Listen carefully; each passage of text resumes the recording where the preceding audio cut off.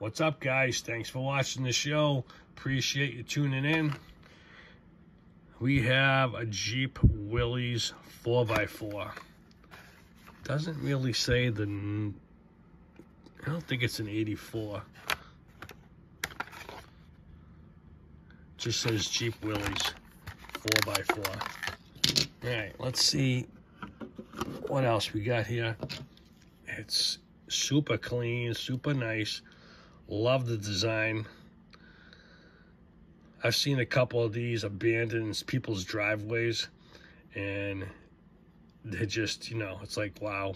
You just want to walk up to it and go, geez, too bad they don't make stuff like this anymore. Nice bumper. I like the little tube bumper they got in the back of that.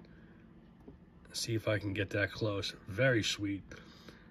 Nice. This is a nice piece. I got to say that.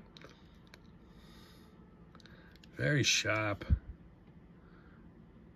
Just says Jeep Wagoneer. Very sharp. Made in Thailand, all that good stuff. Very nice. Very nice, guys. I love it. Thanks for watching, guys.